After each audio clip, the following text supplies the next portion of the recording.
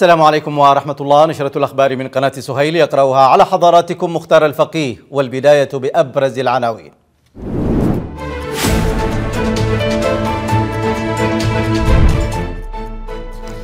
أعضاء مجلس الأمن الدولي يعربون عن قلقهم إزاء تدهور الوضع الإنساني في اليمن.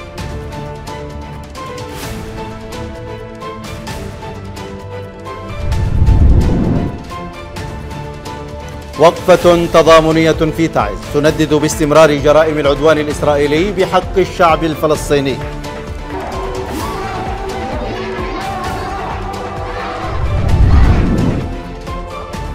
مشاريع خيرية رمضانية للتخفيف من معاناة سكان الحديدة.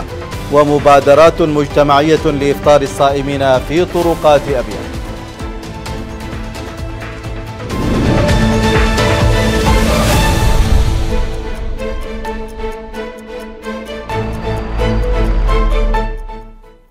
أستهل النشرة بسم الله الرحمن الرحيم. أعرب أعضاء مجلس الأمن الدولي عن قلقهم إزاء تدهور الوضع الإنساني في اليمن والمخاطر البيئية الناتجة عن غرق سفينة روبمار في البحر الأحمر. معتبرين هجمات الحوثيين على السفن تصعيدا خطيرا يهدد جهود السلام في اليمن. جاء ذلك في جلسة لمجلس الأمن يوم أمس حول الوضع في اليمن بمشاركة المبعوث الأممي ومندوب اليمن الدائم عبد الله السعدي.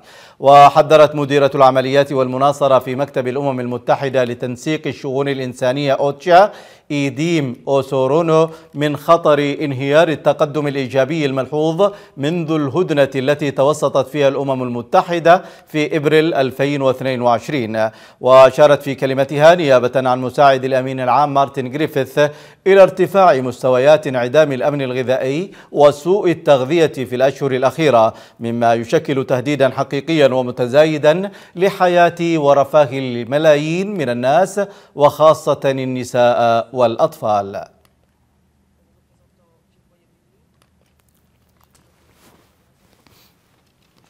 قال المبعوث الأممي إلى اليمن هانت جرينبرغ إن عملية الوساطة التي يقودها باتت أكثر أو باتت أكثر تعقيدا وأن اليمنيين يشاركونه الشعور بنفاد الصبر في سبيل تحقيق تطلعاتهم.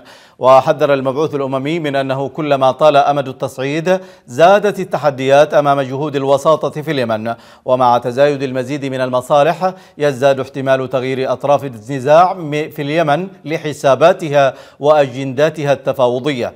وأشار هانس إلى أن السيناريو الأسوأ هو أن تقرر الأطراف الانخراط في مغامرة عسكرية محفوفة بالمخاطر تعيد اليمن إلى حلقة جديدة من الحرب.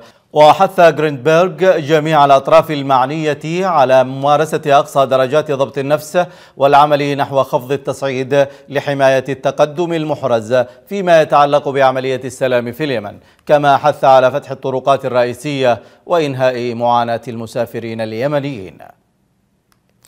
أكد تقرير حقوقي مقتل سبعة مدنيين بينهم طفلين وإصابة امرأة وأربعة أطفال برصاص وقذائف وألغام ميليشيا الحوثي في محافظة تعز خلال يناير وفبراير الماضيين.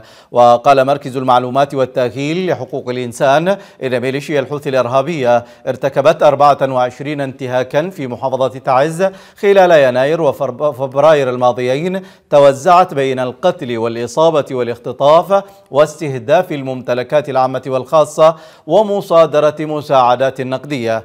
وأشار المركز إلى أن الانتهاكات الجسيمة التي تعاني منها تعز تصيب الطفولة أكثر من غيرها من فئات المجتمع كما أن آثار الحصار القاتلة تستهدف قطاع الطفولة أكثر من أي قطاع آخر.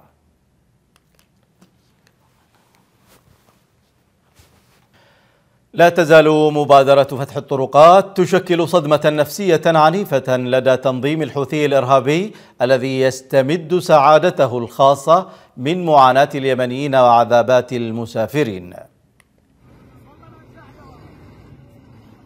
الثالث من رمضان كان يوما مأتميا مروعا في صحراء الجوف المترامية حيث عائلة كاملة من المغتربين العائدين إلى الوطن التحقوا بقائمة ضحايا طريق الموت الاضطراري. لقد صير الحوثيون هذا البلد الفسيح إلى أضيق من قبر ويأتي هذا الحادث المأساوي بعد أقل من شهر من الحراك الحقوقي الضاغط في مبادرة فتح الطرق وابتدار الدولة فتح طريق مارب نهم صنعاء فعليا. في الجهة الأخرى وجدت ميليشيا الحوثي نفسها داخل مرآة الانكشاف الشعبي ورقابة الرأي العام اليقظ. فراحت تشترط وتطالب وتراوغ وتتذاكى وتخترق الأعذار والتبريرات. إذ ترى الميليشيا في الطرق الإسفلتية المعبدة ترفا لا يستحقه اليمنيون في الحل والترحال ولذلك أغلقت مبكرا الخطوط البرية الرئيسة ضمن خطة العقاب الجماعي وتنكيد الحياة العامة. وجاء حراك فتح الطرقات من حيث لا يحتسب الحوثيون وقته القاتل متزامنا مع هرج الدعاية الحوثية بأن هجمات البحر الأحمر تهدف إلى رفع الحصار عن غزة. إنها واحدة من أقصى لحظات الاختبار. لهذا فكرت الميليشيا أن تتساير مع مبادرة فتح المعابر لكن بطريقة من يمتطي الموجة إلى غايته المكيافيلية الخاصة. وبجيش من المقاتلين ذهبت الميليشيا منفردة لفتح طريق صنعاء الضالع بالقوة وبدون أي تنسيق مسبق مع أي طرف آخر معني بالأمر. هنالك تكشفت الحقيقة الحوثية النكراء. حسنا سنفتح الطرقات لكن لتمر الميليشيا إلى المحافظات المحررة على طريق مفروش بورود المبادرة ولا شيء آخر. وجهت الحكومة اليمنية مذكرة رسمية إلى شركة الأقمار الصناعية الفرنسية التي تبث على نفس مدار النايلسات للمطالبة بحجب شارة قائمة القنوات الفضائية المنتحلة صفة القنوات الحكومية اليمنية وكذلك قنوات المسيرة والمسيرة مباشر والساحات واللحظة. وطالبت الحكومة بإيقاف الحيزات الترددية التي تبث من خلالها تلك القنوات استنادا إلى قرار الحكومة اليمنية لعام 2022 بتصنيف جماعة الحوثي منظمة إرهابية وقرار الإدارة الأمريكية بتصنيفها جماعة إرهابية عالمية. وأوضح وزير الإعلام تورط القنوات الحوثية في نشر الأفكار الإرهابية والترويج لخطاب الحقد والكراهية والتحريض على العنف والقتل لأسباب تتعلق بالعرق والجنس والدين والجنسية واتخاذها منابر لغسل عقول الأطفال وتجنيدهم بالإضافة إلى التحريض على استهداف السفن التجارية وناقلات النفط في خطوط الملاحة الدولية في البحر الأحمر وباب المندب وخليج عدن. وقال الوزير الإرياني في منشور على منصة إكس إنه تم تكليف فريق فني في الوزارة بالتنسيق مع وزارة الخارجية لمتابعة كافة شركات الأقمار الصناعية وتطبيقات مواقع التواصل الاجتماعي لحظر القنوات التلفزيونية والمواقع الإلكترونية والمنصات التابعة لميليشيا الحوثي المدرجة في اليمن وعدد من الدول بقوائم الإرهاب.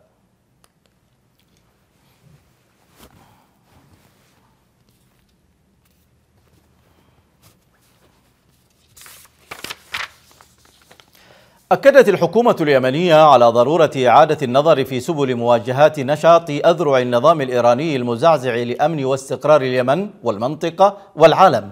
وجددت الحكومة تحذيرها من استمرار تدفق الأسلحة الإيرانية إلى الميليشيات الحوثية ومخاطرها على السلم والأمن الإقليمي والدولي وإطالة أمد الصراع ومفاقمة الأزمة الإنسانية. وشدد مندوب اليمن الدائم لدى الأمم المتحدة السفير عبد الله السعدي أمام مجلس الأمن الدولي شدد على أهمية تقديم الدعم للحكومة اليمنية وتعزيز قدراتها لتمكينها من استعادة مؤسسات الدولة وحماية المياه الإقليمية اليمنية. اليمنية وتأمين خطوط الملاحة البحرية الدولية وبسط سيادتها وممارسة سلطاتها على كامل التراب اليمني لفرض الأمن والاستقرار بما في ذلك المدن والموانئ التي تحولت إلى منصات لاستهداف أمن وسلامة الملاحة الدولية في البحر الأحمر ومضيق باب المندب وخليج عدن. وجدد السعد التزام مجلس الأمن بل مجلس القيادة الرئاسي بنهج السلام الشامل والمستدام في اليمن بناء على مرجعيات الحل السياسي المتفق عليها.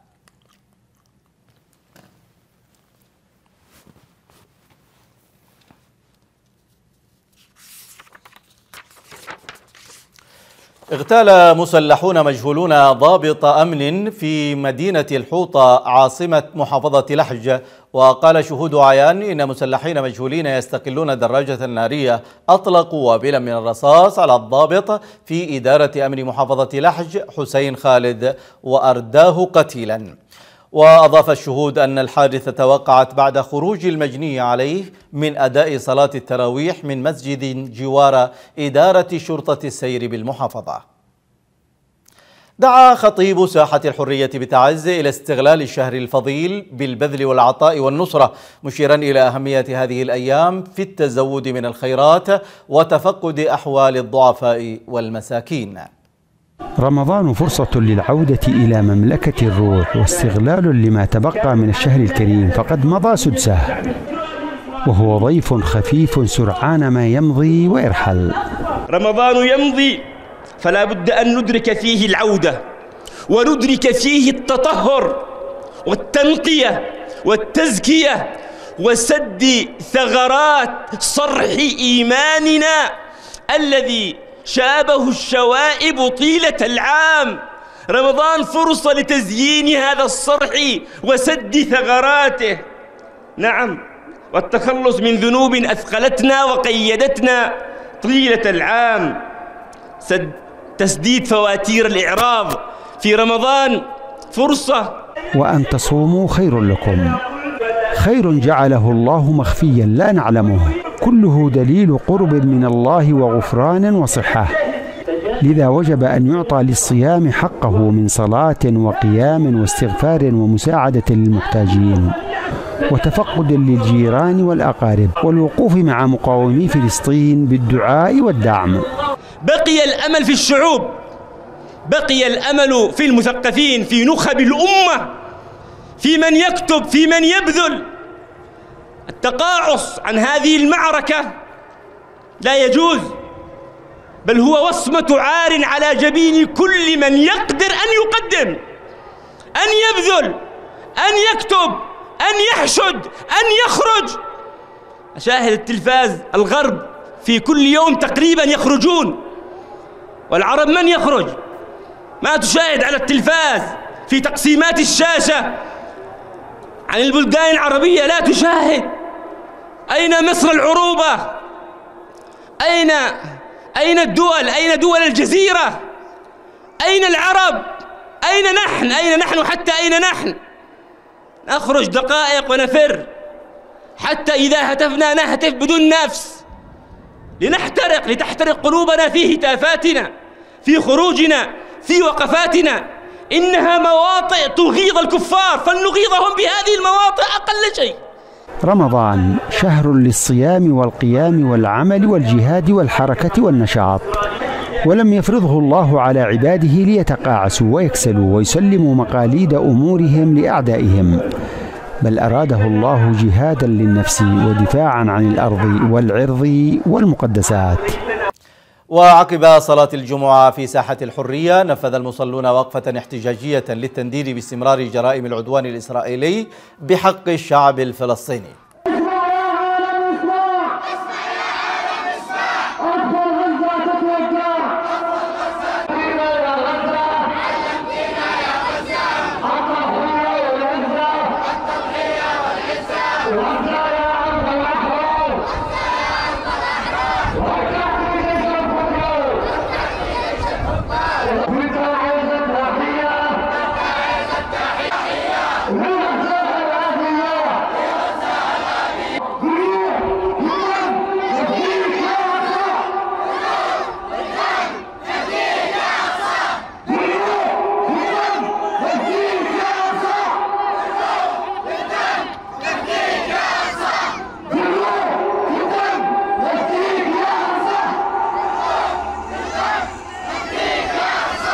فنحن نتضامن مع الشعب الفلسطيني المحاصر المظلوم الذي تكالب عليه العالم كله وكذلك نندد بجرائم الكيان الصهيوني التي هي جرائم حرب ينبغي أن يحاكم على هذه الجرائم الحرب وهي سقوط أخلاقي للكيان الصهيوني بهذه الحرب التي خارج إطار النظام النظام الشرعي والقانوني والإنساني فقتل الأطفال وتدمير والنساء وتدمير المساكن على أهلها وكذلك المدارس والمستشفيات والدور العبادة كل ذلك من مخالفات الحروب في العالم. ولذلك ندعو العالم وأحرار العالم أن يقف مع الشعب الفلسطيني.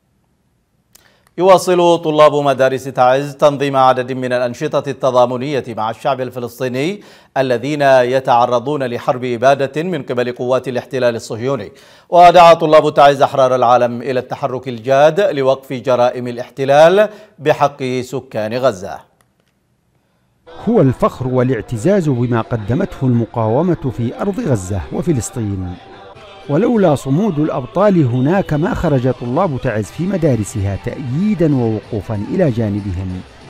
لترفع الأعلام الفلسطينية بجانب العلم الوطني تعبيرا على أن قضية اليمنيين والفلسطينيين واحدة. هؤلاء الطلاب يحملون عدة رسائل الرسالة الأولى إلى الأمم المتحدة وإلى حقوق الإنسان وإلى حقوق الطفل وإلى حقوق المرأة. أين أنتم اليوم مما يحدث في غزة؟ هل آه، وصل بكم الذل والجبن والخور إلى أن يعني تخرسوا حتى عن الكلمة؟ ندعو إلى آه، أن يكون لهم موقف من هذا الجانب. أعلن أبناء فلسطين التشبث بأرضهم وهويتهم ودينهم والدفاع عنها والتضحية من أجلها. معلنين ألا توقف عن المقاومة والتضحية إلا برحيل العدو المحتل. فالصغار هنا في تعز قد فهموا اللعبة. ولم تعد تنطلي عليهم لعبة الإعلام الموجه ولا هرطقات العملاء. فالقضية الفلسطينية هي قضيتهم ويجب أن يكونوا مع إخوانهم المناضلون حتى التحرير.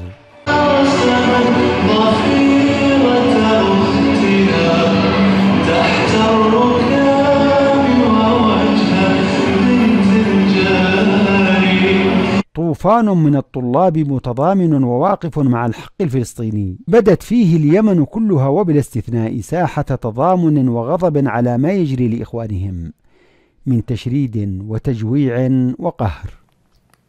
في سياق حربها الشاملة على الشعب اليمني منعت ميليشيا الحوثي مجموعة الصلاح التجارية من توزيع المساعدات الغذائية السنوية التي اعتادت توزيعها على الأسر المحتاجة في رداء بمحافظة البيضاء. وقالت مصادر محلية إن ما يسمى هيئة الزكاة التابعة لجماعة الحوثي وضعت شروطا تعجيزية أمام رجل الأعمال علي الصلاحي للحيلولة بينه وبين توزيع المساعدات التي لا تزال حتى اللحظة مكدسة في المخازن. يشار إلى أن ميليشيا الحوثي عمدت خلال السنوات الأخيرة إلى الاستحواذ على المساعدات الخيرية التي يقدمها التجار للأسر الفقيرة في مناطق سيطرتها دون مراعاة لحاجة الناس أو اكتراث بمعاناتهم. أحالت ميليشيا الحوثي شهر رمضان في مناطق سيطرتها إلى موسم للسرقات والنهب والجبايات ودفع الناس إلى جحيم الفاقة والحرمان فيما ترتفع أرصدة المشرفين والقيادات الحوثية بسرعة جنونية. الصيام لدى المسلمين امتناع لكنه لدى الحوثيين ابتلاع. ابتلاع لكل شيء تطاله أيديهم وأيدي زعماء العصابة الحوثية تطال كل شيء في مناطق سيطرتها في الجغرافيا اليمنية وذلك سر تحول كل مكان تسيطر عليه إلى جحيم يخشى كثيرون البقاء فيه. يرى المسلمون رمضان شهر تنافس في العبادات والطاعات ويراه الحوثيون شهر تنافس في السرقات والجبايات. فالمشرف الحوثي الجديد يدخل رمضان فقيرا ويخرج منه مليونيرا. فيما القديم يدخله مليونير ويخرج منه ملياردير. وبرصيد وكرش يفصحان عن الكثير. أما من أين تأتيهم الأموال؟ فالجواب في الجبايات التي أفلس بسببها تجار. وقصص النهب التي تتم على مرأى الجميع دون خوف من شهود عيان. وتلك جبايات يخترع لها الحوثيون المسميات. ويطاردون بسببها حتى البسطاء من أصحاب البساطات والعربيات. فضلا عن الجبايات التي تمتص عرق مواطنين هم في نظر الشرع مستحقون للزكاة باعتبارهم فقراء. لكنهم لدى الحوثيين مجرد مصدر آخر للإثراء حيث السيف الحوثي الذي يسلونه كذبا باسم الزكاة مسلط على رقاب الجميع لنحر ما تبقى من أسباب الحياة في المجتمع. المجتمع الذي بات على يقين بأن لدى الحوثيين عمى ألوان لا يبصرون معه سوى لون الدم والمال باعتبارهم مصاصي دماء اليمنيين وأموالهم. ولا يفهمون من رمضان سوى كونه موسما للجبايات التي تذهب إلى جيوبهم. ولن يأمن اليمنيون على دمائهم وأموالهم ومستقبل أطفالهم. ويستعيدوا روح رمضان ما بقيت ميليشيا إيران. قال الأمين المساعد للمكتب التنفيذي للتجمع اليمني للإصلاح بوادي حضرموت منير بامحيمود إن الأوضاع التي آلت إليها البلاد نتيجة مباشرة لانقلاب ميليشيا الحوثي على الدولة وحربها ضد الشعب اليمني. ودعا بامحيمود في الملتقى الرمضاني الذي نظمه إصلاح تريم مساء أمس الأربعاء للوجهاء والأعيان بالمنطقة. دعا السلطة المحلية إلى العمل على التخفيف من معاناة المواطنين ومعالجة أوضاع الكهرباء وتردي العملة والخدمات وارتفاع المشتقات النفطية وشدد على تفعيل الأجهزة الرقابية وتوظيف عائدات موارد المحافظة للتخفيف من ميازين وموانئ وضرائب وفوارق أسعار الديزل المدعوم ومنفذ الوديعة وغيرها لصالح التخفيف من معاناة المواطنين وفي مقدمتهم المعلمين.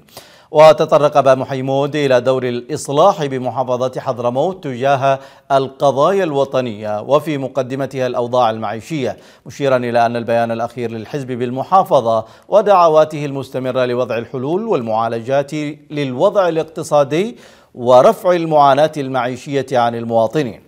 ونوه أمين تنفيذي الإصلاح بوادي حضرموت بمساندة الحزب لجهود استعادة الدولة وإسقاط الانقلاب الحوثي مشيرا إلى مواقفه الوطنية من مختلف القضايا مشيدا بجهود الأشقاء في التحالف العربي وفي مقدمتهم المملكة العربية السعودية. بينما تحدث في الملتقى الشيخ حسن باكتل عن أهمية استغلال شهر رمضان وفعل الخيرات مشيدا بالمقاومة الفلسطينية كحركة تحرر وطنية جاءت من رحم الشعب الفلسطيني ضد الاحتلال الصهيوني. حضر الإفطار عضو هيئة الشورى المحلية لتجمع اليمن للإصلاح بالمحافظة سعيد عاشور بامحيمود والعديد من الوجهات من الوجهات والشخصيات الاجتماعية بالمنطقة. بسبب الازدحام الكثيف في شوارع تعز نفذت الأجهزة الأمنية بالتنسيق مع قسم الأسواق بمكتب الأشغال العامة حملة إزالة البساطات والعشوائيات من شوارع المدينة والتي تتسبب بالازدحام الشديد. حملة مشتركة لإزالة العشوائيات ومسببات الازدحام المروري في شارع 26 وسط مدينة تعز. حيث عملت الحملة على سحب المركبات الواقفة وقوف غير نظامي مع ترفيع قعائد وبساطات الباعة في هذا الشارع. ما يقوم به الآن من من حملات ضد هذه العشوائيات التي أصبحت تأرق حتى المواطن المشاة يعني حركة السير تعيق حركة السير. طبعا أنتم تعرفوا 26 هذا كان يعني وباء. لهذه العشوائيات. وجدنا البدائل. 26 قلنا القمط. سائلة القمط وضعوا لها مديرية القاهرة إنارة وأيضا حراسة. ونرجو أن يقدر المواطن ما ما تبذله هذه المديريات من جهود. إحنا لا نقطع رزق أحد. لكن نقول في المكان المناسب هو الذي ممكن واحد يتغاضى عنه. وتأتي هذه الحملة نتيجة تلك العشوائيات والبساطات والأشكاك المسببة لعرقلة حركة السير والحد من الاختناقات المرورية في شوارع المحافظة خاصة في شهر رمضان المبارك. والله شوف هي كانت عشوائية كثيرة فعلا لأنه في ناس ما كانوا يكتفوا ببسطة ولا ببسطتين. عارف ناس كان معه أزيد من عشر بسطات وهو لحاله يشغل مدري مين. يعني لو كان على قدره كان لا بأس. بس سببوا زحام بالشوارع وسببوا مضايقات لل رغم إنه في سلبيات وفي إيجابيات زي ما قلت لك. السلبيات إنه خف السوق عندنا هو تعبان أصلا. بس لما تكون في زحمة وفي حركات تشعر نفسيا إنه يعني قد اسمه سوق ضروري ما يكون مزدحم. تشعر إنك تطلب الله وإنك تبتاع تشتري ويروح الوقت بسرعة. لكنه بالمقابل فإن الباعة طالبوا السلطة المحلية بعمل حلول ووضع أماكن مرتبة يمكن العمل فيها بعيدا عن الابتزاز المتواصل بحقهم كما يقولون. أنا كصاحب بسطاء لنا من 28 شعبان لا عمل لا بديل. متنقع أكثر أسر عايشة على البسطات الشيء يطلعون إحنا الهندي الهندي هناك لا مكان لا مأوى. سائلة. ما فيش داخل هناك يفتحوا لنا البدروم حق السعيد كبديل. أما إنه يطلعون إحنا الهندي هناك لا سوق ولا أعمال استعجلوا بسوق كيف تشوف إنه الآن خالي على عروشها.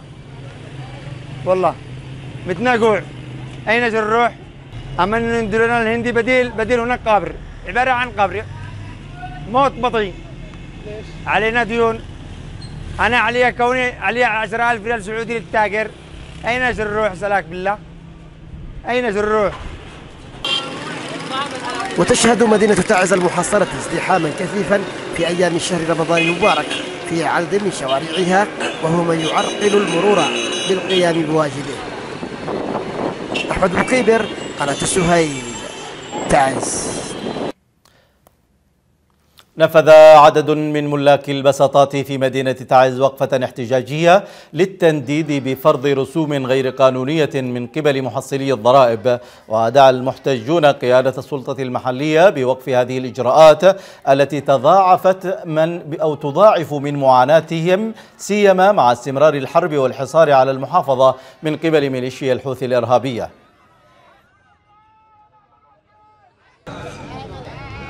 خرجت اليوم لكي أرفع مظلومتي إلى محافظ المحافظة آه الذين نزلهم إلى شوارع جمال الذي أخذوا بضاعتي وحبسونا ليوما محبوس. لا لا أكل ولا شرب في المحافظة محبوس. وأرفع دعوتي إلى محافظ المحافظة لكي يندي لنا الأسواق البديلة ويندي لنا ما خسرنا من بضاعة اللي أخذوها علينا. يواصل أبناء مديرية أحور بمحافظة أبيان تنفيذ مبادرات إفطار الصائمين من المسافرين المارين بالطريق الدولي الرابط بين محافظتي عدن وأبيان والمحافظات الشرقية. وقال القائمون على المبادرة إن إقامتها إن إقامتها يأتي كتقليد سنوي بدأ تنفيذه من قبل رباط المشهور قبل أكثر من ستة من ستة عشر عاما. يتم خلاله توزيع وجبات الإفطار على المسافرين في الطريق الدولي خصوصا في ظل عدم وجود أي أسواق تجارية قريبة من مكان مرورهم. في هذا المكان أو كما يعرف برباط المشهور في مديرية أحور بمحافظة أبيان يبدأ هؤلاء المتطوعون تغليف الوجبات الخفيفة وتجهيزها قبل ساعات من حلول موعد الإفطار استعدادا لبدء مهمة جديدة في المبادرة الرمضانية المعروفة بمبادرة إفطار الصائم. إن شهر رمضان المبارك ونحن في قرية المسلم لتوزيع إفطار الصائم. جزا الله كل من ساهم معنا وشارك معنا. وهذه بادرة طيبة.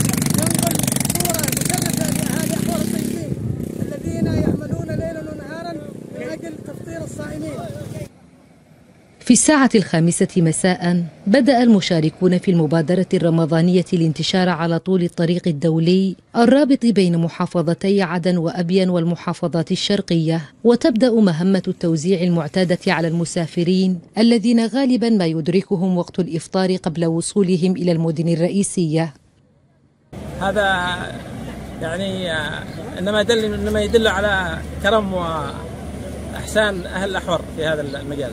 تكمن أهمية المبادرة الرمضانية في كونها الوحيدة التي ما زال أبناء مديرية أحور يحرصون على بقائها بعد 16 عاما من بدايتها وبات استمرارها أحد الطقوس الرمضانية المرتبطة بشهر رمضان في المديرية الشرقية المصنفة كأكثر مديريات المحافظة تمسكا بالعادات الدينية ذات الطابع الروحاني لقناة سهيل الفضائية عبير علي محافظة أبين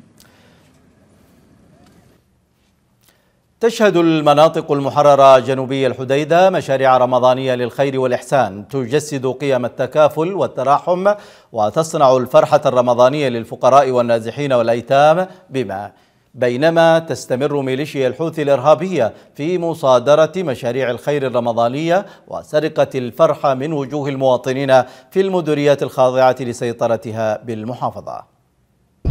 توزيع الفطور الإفطار للصائمين. مشاريع خير وإحسان متاحة للجميع. تستفيد منها الأسر الفقيرة في شهر رمضان. هنا في المناطق المحررة جنوبي الحديدة. دشنا اليوم توزيع خمسة ألف وجبة وجبة إفطار للأيتام في محافظتي الحديدة. وتعز هذه الوجبات طبعا السنة الثالثة تقريبا التي يتم توزيعها. مؤسسات وجهات رسمية ومبادرات مجتمعية تصنع الفرحة الحياتية للمواطنين في شهر رمضان المبارك. تجلت هذه المشاهد الباعثة على الأمل والخير والسعادة والتكافل والتعاون والتراحم والمسؤولية. تخفف من معاناة المواطنين نازحين وفقراء وأيتام وغيرهم ممن سلبتهم الحرب التي أشعلتها ميليشيا الحوثي الإرهابية الأمن والاستقرار وتسببت في انهيار معيشي ضاعفت من متاعب المواطنين وفقرهم. نود أن نشكر ونقدر جهود الخلية الإنسانية فقد تقدمت بوجبات للمرضى بطريقة سخية وإنسانية وراقية جدا. أما في مناطق محافظة الحديدة الواقعة تحت سيطرة ميليشيا الحوثي الإرهابية تمنع ميليشيا إيران حتى اليوم الرابع من شهر رمضان المبارك. المؤسسات والمبادرات المجتمعية والتجارية من إطعام الفقراء لتسرق الفرحة من حدقات الصغار والكبار وتصادر الأجواء الرمضانية وأحالت سكان الحديدة إلى جموع مرهقة بالفاقة والمسغبة والحرمان. عبد الحفيظ الحطامي لقناة سهيل الفضائية محافظة الحديدة. تشهد الأسواق الشعبية في عدد من المدن الرئيسية بمحافظة أبين خلال أيام شهر رمضان المبارك. تشهد انتعاشا ملحوظا في الحركة التجارية وإقبالا كبيرا من قبل المواطنين. وساهم انتعاش الأسواق في توفير فرصة عمل بل فرص عمل مؤقتة للكثيرين حيث يستغل البائعون تزايد مستوى الإقبال بعرض منتجاتهم الرمضانية المتنوعة وفي مقدمتها الأكلات الشعبية المرتبطة بشهر رمضان. بشكل يختلف عن الأيام العادية. تتخذ الأسواق الشعبية في محافظة أبين خلال أيام شهر رمضان المبارك شكلا آخر. فالخروج للتسوق قبل ساعات من موعد الإفطار عادة يومية بالنسبة للمواطنين الراغبين في الحصول على بعض متطلباتهم الأساسية التي يعد توفيرها ضروريا في موائد الإفطار. اللي يميز الاسواق الشعبية في ابين الأكلات الشعبية حق رمضان ومن أهلها ومن مجموعات السكان بكثرة. وبس نعاني نحن زي الشعب مواطن نعاني في الأسعار المواد الغذائية وزي الكسوة زي هذه الحاجات. يعني ورواتب متأخرة وما فيش. نعاني بكثرة. وعلى الرغم من تأزم الوضع المعيشي وتدني نسبة الأجور بالنسبة للموظفين إلا أن مستوى الإقبال ما زال مرتفعا. الأمر الذي شجع الكثيرين على استثمار المناسبة والاستفادة من حالة النشاط الذي تعيشه الأسواق والخروج بمعروضاتهم الرمضانية كالأكلات الشعبية المرتبطة بالشهر الفضيل. أصل أكثر الشباب العاطلين نقوم ببيع بمبيعات هذه السمبوسة ونعملها في المنازل. أصل مدخل الرزق لنا. بالنسبة لنا نحن الناس الضباحه يعني بشكل عام. شهر رمضان يعني في محافظة ابين ما تشوفوا الآن الحباحب والسمبوسه والباقي والسحاق والأكلات الشعبية في ابين يعني هذه يحصل الان قدامكم شمام حبحب الرشوش هذا بقول المخلم اللحوح أكلات شعبية.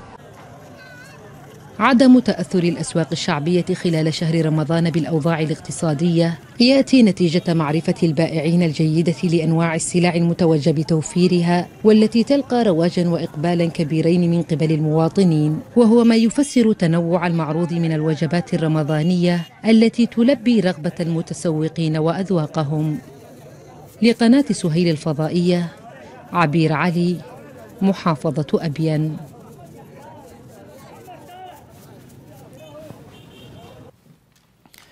افتتح محافظ محافظة تعز عددا من مشاريع المياه ووضع, ووضع حجر الأساس لمشاريع جديدة في عدد من عزل وقرى مدينة التربة بمديرية الشمايتين. وخلال زيارته افتتح المحافظ شمسان مشروع شوحط المكون من وحدات من وحدات ضخ متكاملة تعمل بالطاقة الشمسية وملحقاته والخزان وغرف الضخ بتمويل من منظمة الهجرة الدولية. وأشاد المحافظ بجهود الهيئة العامة لمشاريع الريف والمنظمات الدولية الداعمة لتنفيذ المرحلة الأولى من هذه المشاريع وجاهزية التنفيذ للمرحلة الثانية لتوفير المياه النظيفة.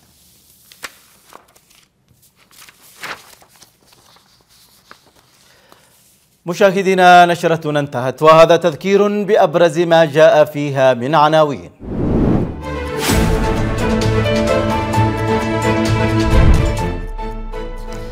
أعضاء مجلس الأمن الدولي يعربون عن قلقهم إزاء تدهور الوضع الإنساني في اليمن.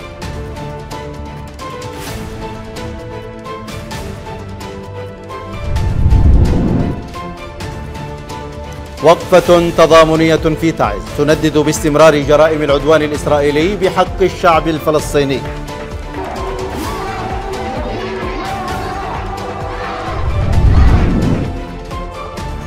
مشاريع خيرية رمضانية للتخفيف من معاناة سكان الحديدة ومبادرات مجتمعية لإفطار الصائمين في طرقات أبيان